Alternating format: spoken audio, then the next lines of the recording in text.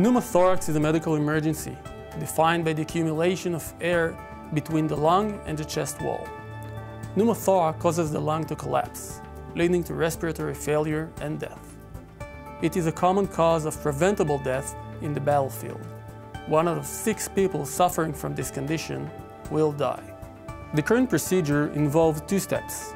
A fast needle decompression of the cavity, followed by a slow 15-minute procedure to insert a chest tube and secure the lung permanently.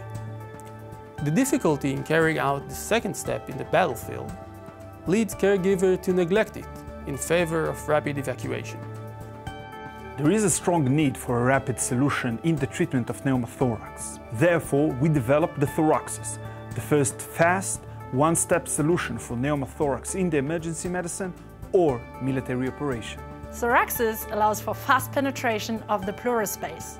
Its unique opening mechanism enables caregivers to create a stable portal in less than one minute, leaving the other hand free to insert the chest tube in a single step.